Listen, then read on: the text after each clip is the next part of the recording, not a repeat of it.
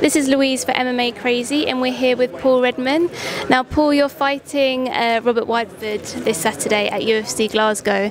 What was your initial reaction when you heard about Glasgow? Uh, as, the, uh, as a as an event, yeah, yeah. Um, they've never had an event before, and I think it'll, um, it'll mirror image the Dublin show last year um, with regards atmosphere. So yeah, I think it's going to be wicked. Because it's sold out within what half an hour or something like that. Um, so when when did you first hear about being put onto this card? Uh, a couple of months back, uh, about three or four, about three and a half months ago. So um, we got the call, accepted the fight, and then couple, the, the, whole card sort of got sort of announced maybe a couple of weeks ago or eight weeks ago. So I've known about it about three and a half months. And what do you think of Robert as an opponent for you? Yeah, he's tough. He's you know he's tough as they come. Um, he's not he's 11 and one for a reason. You know he's good, good stand up, um, really good judo, he's good ground game. So yeah, he's tough, tough opponent. And you made your UFC debut debut in your last fight.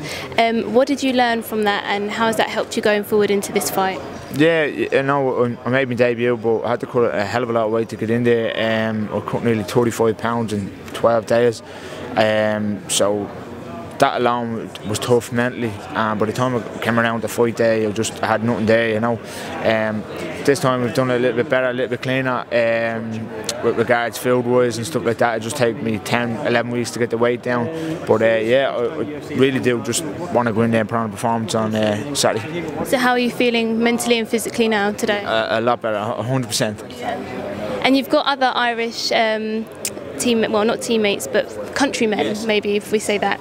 Uh, you've got uh, Joseph Duffy, yeah. So uh, what's that like sharing a card with them? Yeah, it's cool. Yeah, um, t- uh, the two guys have um, I've been on cards with them throughout my whole career. You know. Um, on uh, shows in Ireland, England. Anyway, anytime we would go away to uh, to England to fight, those guys would be on the card. We've, I've been over with training with Paddy and stuff like that, you know. So it's, it, it's great. It, uh, it, just brings sort of a, um, an Irish atmosphere into the dressing rooms, you know.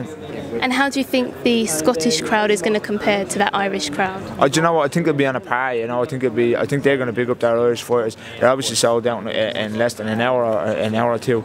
Um, so I think they'll be up from from the get go. So uh, yeah, it should be good. Should should make for a really good card atmosphere. Um, and the Irish fans always follow their fighters everywhere, don't they? Yeah. Um, do you know there's going to be a, a, big kind of following?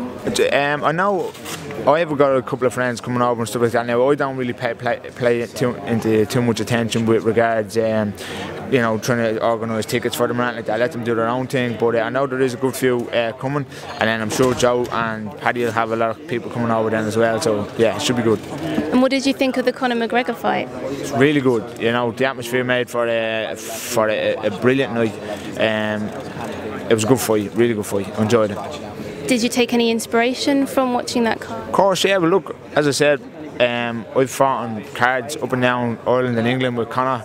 Um, so we know we all started at the same time and we all um, were around a long time in Ireland. And the same deal that was yeah, it was good.